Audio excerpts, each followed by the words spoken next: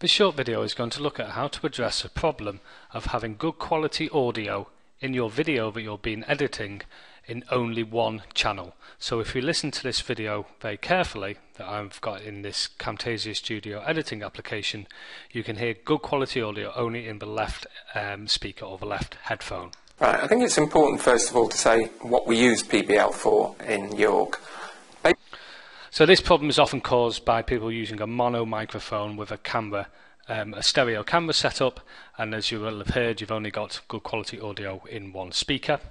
Um, this is not something, unfortunately, that we can resolve within Camtasia or within many other standard um, video editing applications. So we'll have the same problem in something like Movie Maker. We need to export the audio from our video editing application, work with it in a dedicated audio editing program and then pull it back into Camtasia. So I'm going to demonstrate this process with Camtasia, but it'd be fairly similar if we were using Windows Movie Maker or something else. Okay, so the first stage is to export just the audio track on its own. So I'm going to choose File, Produce Special, Export Audio As, and I'm going to call it something. I'll stick it on the desktop, and I'm going to call it Only One Speaker. And then that will export fairly quickly. Um, in Windows Movie Maker, if you were using that, you might have to do something a little bit more convoluted. You can file save movie, produce audio only. Okay, and I'll call this only one speaker. But the file format that this produces audio in isn't compatible with the audio editing program we're going to use in the next step. So I'm going to show you a little trick of how to get around that in a moment. Okay, so I've got an audio file, st a standalone audio file. The next step is to load up my audio editing program and pull it, pull the audio into that. So I'm going to use Audacity, which is a free open source program that you can download. I'm going to choose File, Import, audio and I'm going to find first of all I'm going to find the one that we exported from um, Camtasia which is called only one speaker and it's a WAV file. Okay? And we can see here visually we can see that this channel the left hand channel is fine. The right hand channel has got um, just pure distortion in that but the way to sort this out is really straightforward. We just come up to the drop down arrow at the top of the track in um, Audacity, click on this and choose split stereo track to mono. And what this will do is it will give us two standalone tracks, one of which has just good audio in, one of which has just distortion in. And if I play just the distorted one, we should hear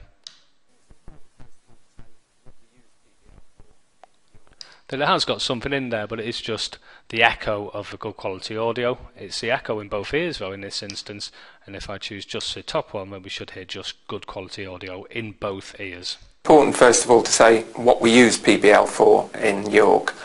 Basically, there are three Okay, so I'm happy with that. I can close off the one that I don't want to keep.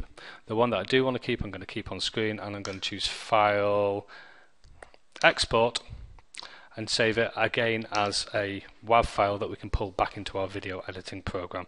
So I'm going to call this one only one speaker mono. Just before we move on back to the editing program, I just want to show you what happens with files that were produced by Movie Maker. If I choose File, Import, Audio, and choose only one speaker M4A, which is what uh, Movie Maker produced, you get this warning.